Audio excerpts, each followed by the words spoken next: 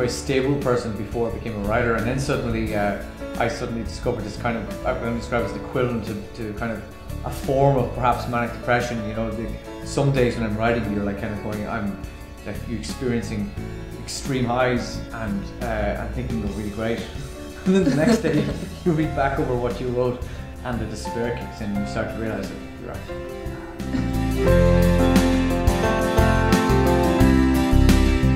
I suppose Donegal, for us down here, it seems very far away, and, and in certain senses, the Wild West maybe a little Well, it's bit. as- definitely the Wild yeah. West, yeah. and that comes through, country. yeah, in your books Yeah. as well. That that kind of idea. So, is Donegal like a character for you, or is it? yeah, of course it is. You know, it's weird because when I was growing up there, let, let's be honest, I, I hated the damn place, and you know, I wanted to get to Dublin and or New York or whatever and begin my life. And, and when I started writing, the last place on earth that I thought I would write about would be Donegal. But yet, when I started writing about it, it just started to happen on the page. And what I realized now was happening was that Donegal is really just it's a place of distance, and you when you're writing, you need to have um, the space to be emotionally distant from it and visually distant, and all of these things that allow you to reimagine it as your own place.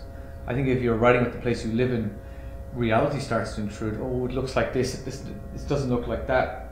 Whereas you need to actually be God, and you have to you, have, you want to be able to create your own thing, and to do that, you need distance. And so, the the only distance from any place I had was Donegal because I've only ever lived in Donegal and Dublin, and um, uh, so Donegal suddenly took on this thing. And you know, the truth is, I'd love to write a novel about Dublin. You know, um, I really want to write one, but I know that I'm going to have to leave Dublin to do it. Do you think it's a particularly Irish thing that there's this urban rural divide, maybe in terms of so many writers would speak about, you know, oh, once I get out of this small town, Yeah. or is it a, maybe a more universal? I think it's universal. I actually think it's about. I think it's about. It actually comes starts off with being feeling like an outsider. Most almost every writer you'll ever meet thinks that on some level that they don't fit in, and so you know you, you're living in. You know, you're living in the small town Ireland, and you know you know that you don't fit in. You know that you see the world slightly differently, um, and that you read books and nobody else reads books. And so, uh, and then you go to the big city, and you know you think you fit in, but actually you realize that you just fundamentally never going to fit in as a human being.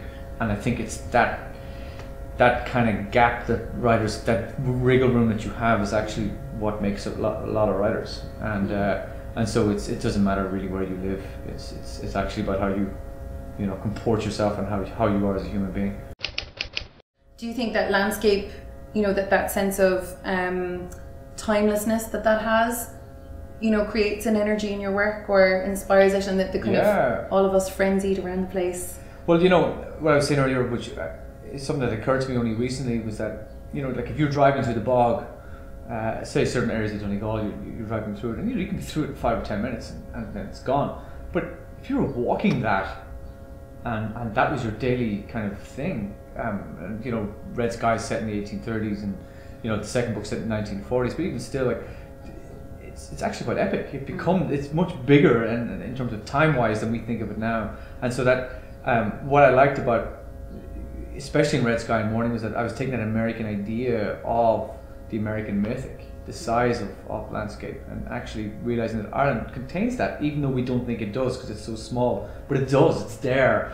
if we were all walking. and, and you know exactly you just have to you just have to kind of slow down maybe and so uh, that became a big part of my writing um, at least uh, you know as as those two books I don't know if it's such a big thing for the third but um, uh, but what what I found was this thing that it gave both both novels was a sense of time and space that might ordinarily not be there. That when you're writing with the characters living their lives, but you're using landscape to contrast, and you, you do it in a certain way. There's a certain way of writing about it, but in that way of writing about it, it gives you a sense of time and space that's far greater, far more infinite than our own moments of our own lives.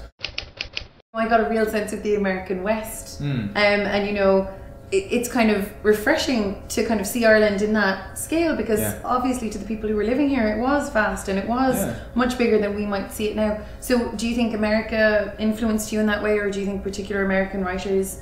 I'm definitely in love with uh, a certain bunch of American writers, and um, more so than I was ever influenced by Irish writers. I mean, you, I think as children, you, you, know, growing up around, through osmosis, we just absorbed Joyce. I mean, you don't even have. The first time I read Ulysses, I felt like I'd already read it. It was like I was kind of this kind of recognition thing going on, even though I'd never read it. And we all, you know, absorb Yeats, you know, and we absorb Beckett, and so we almost have them philosophically.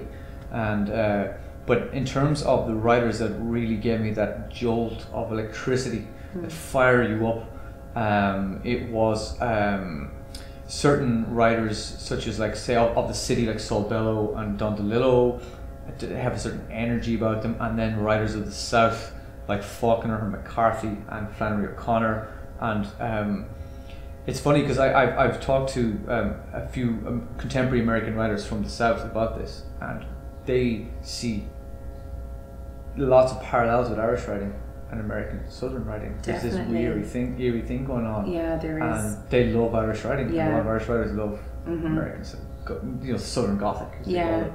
And uh, I, I, I was just really. Um, I think my sensibility was just attuned to that sensibility. Mm. I, you know, when I first discovered that kind of writing, I was like, this is actually the kind of fiction that my brain seems to be wired to yes. liking more than anything else. So when I started writing, I think that's that came through, you know. I think you're so right when you say there is that kind of, you know, synergy yeah. between you know Ireland and America, and particularly the South, particularly. Um, and do you think then that maybe there's something to do with immigration, or do you think it maybe is uh, where how Ireland is viewed as a post-colonial maybe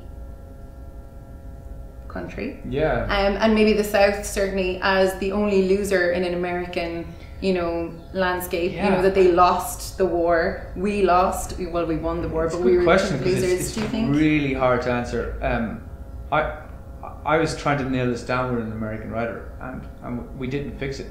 And um, you know, you could say it's possibly some kind of something very something deeper that goes back to shared mm. inheritance, perhaps. Yeah. Um, you know, perhaps something religious about our, you know, yeah. th- there's definitely a kind of um, a religious aspect to it in terms of like, you know, just the use of the language. Um, it's I find it, I actually, tra- I, to be honest, I don't, I can't answer it. Um, you know, it's a big question. It, it, it, could, it could, yeah, and you know, it could also just be an accident. Yeah. It could just be an accident. Mm. I mean, we, we have in terms of the post-colonial thing, we, the Irish do have that kind of we we've created our own language that has made us very, very unique. You know, Hibernian English is a very, mm-hmm. very unique construct of the English language.